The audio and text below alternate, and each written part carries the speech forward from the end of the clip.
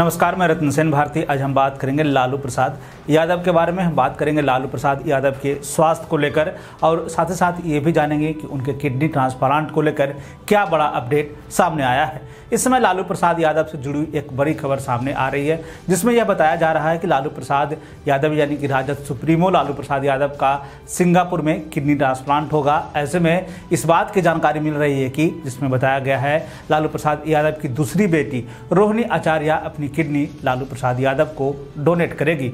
ऐसे में इस बात के भी संकेत मिल रहे हैं कि लालू प्रसाद यादव बहुत ही जल्द सिंगापुर जाने वाले हैं। बताया जा रहा है कि इसी महीने लालू प्रसाद यादव का किडनी ट्रांसप्लांट होने वाला है। पिछले महीने लालू प्रसाद यादव सिंगापुर से चेकअप के बाद दिल्ली लौटे थे। आपको बता दें कि लालू प्रसाद यादव को अपनी बेटियों से खास लगाव रहा है। जब वे दिल्ली में होते हैं तो अपनी बड़ी बेटी मीसा भारती के यहाँ रुकते हैं और जब वह स्वास्थ्य लाभ को लेकर किडनी ट्रांसप्लांट करने की बात सामने आई तो उन्होंने उनकी दूसरी बेटी रोहिणी आचार्य ने अपनी किडनी दान करने की बात की, यानी कि डोनेट करने की बात कही है। जिसके बाद यह कहा जा रहा है कि लालू प्रसाद यादव बहुत ही जल्द जल्दी से सिंगापुर के लिए रवाना हो सकते हैं। आपको बता दें कि लालू प्रसाद यादव की किडनी के साथ साथ दिल से जुड़ी हुई कई तरह की बीमारियाँ हैं। उनका इलाज लंबे समय से दिल्ली के एम्स अस्पताल में चल रहा है, जहाँ उन्हें सिंगापुर में इलाज कराने की सलाह दी गई, जिसके बाद लालू यादव अक्टूबर महीने में सिंगापुर इलाज के लिए गए थे। हालाँकि चेकअप के बाद वे भारत लौट आए। हालाँकि उनकी बेटी रोहिणी आचार्य सिंगापुर में ही रहती है।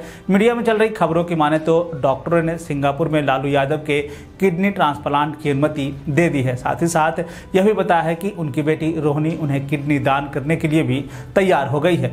हिंदुस्तान खबर और कई अन्य मीडिया संस्थानों में चल रही खबरों की माने तो लालू यादव के तमाम जाँच के बाद उनका किडनी ट्रांसप्लांट किए जाने की बात कही जा रही है। ऐसे में यह बताया जा रहा है कि 24 नवंबर के बाद लालू यादव किडनी ट्रांसप्लांट के लिए सिंगापुर जा सकते हैं। इधर बिहार के उप मुख्यमंत्री तेजस्वी यादव ने भी संकेत दिए हैं कि नवंबर महीने में लालू यादव का किडनी ट्रांसप्लांट होना है। ऐसे में अब कहा जा रहा है कि लालू यादव का बहुत ही जल्द किडनी ट्रांसप्लांट हो सकता है, क्योंकि किडनी ट्रांसप्लांट में एक बड़ी समस्या सामने आती है डोनर को लेकर। लेकिन अब जब रोहिणी तैयार हो गई है तो एक समस्या इस पूरी प्रक्रिया में दूर मानी जा रही है। हालाँकि यह भी बताया जा रहा है कि लालू यादव पहले अपनी बेटी की किडनी लेने से परहेज कर रहे थे, वे इसके लिए राज़ी नहीं हुए। लेकिन जब बाद में डॉक्टरों ने कहा और बाद में परिवार के लोगों के बीच में आपसी सहमति बनी और यह बताया गया कि परिवार का कोई अगर डोनर हो तो वह ज़्यादा कारगर होता है, जिसके बाद लालू प्रसाद यादव इसके लिए तैयार हो गए हैं। इधर लालू परिवार और राजद कार्यकर्ता बस यह चाह रहे हैं कि जितनी जल्दी हो सके लालू प्रसाद यादव ठीक हों और बिहार की सियासत में एक्टिव हो सके। बता दें कि लालू यादव के छोटे बेटे तेजस्वी यादव इन दिनों बिहार की सियासत में एक्टिव है और नीतीश कुमार के साथ मिलकर बिहार की सरकार चला रहे हैं। तो यह था लालू प्रसाद यादव के स्वास्थ्य से जुड़ी हुई खबर। बिहार और बिहार से जुड़ी हुई और भी ऐसी खबरों के लिए बने रहे हमारे चैनल के साथ। मुझे दीजिए इजाज़त। धन्यवाद।